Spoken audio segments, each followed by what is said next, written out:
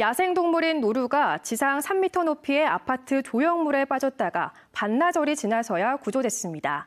지난 주말 많은 눈이 내리면서 먹이를 찾아 산 아래 아파트까지 내려온 것으로 보이는데 사람을 피해 도망가다 자칫하면 죽을 뻔했습니다. 이승준 기자가 취재했습니다.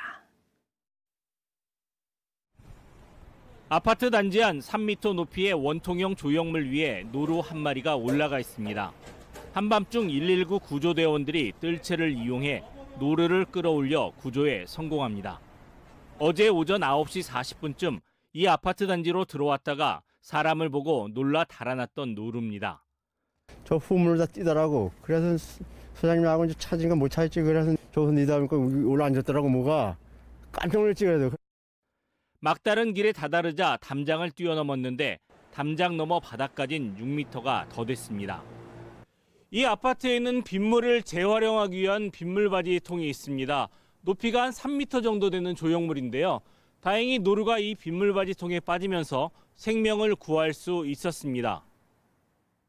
만약에 이게 높이가 5m 가까이 되는데 앞이 막혔기 때문에 무보고 뛰어내렸는데 그 시설이 만약에 없었다면 아마 죽었을 겁니다.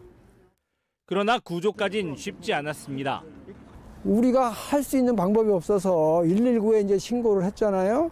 그랬더니 119에서는 시 종합민원센터에 전화를 하시라고 전화번호를 알려주더라고요.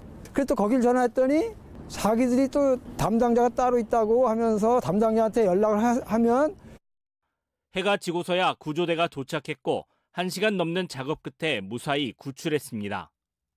노루가 진정이 안 된 상태여서 저희가 갖고 있는 약품을 이용해서 근육이완제를 3cc 투여하고 어, 20분 경과 후에 노루가 진정이 되어서 동물푸획 장비를 이용해서 하루 종일 노루와 함께한 아파트 주민들은 먹이까지 갖다 주며 응원했고 추운 밤을 넘기지 않아 안도했습니다.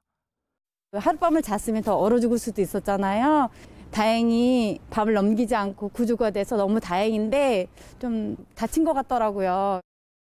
눈과 함께 갑작스레 찾아온 손님에 아파트 주민들은 가슴 졸이는 하루였습니다.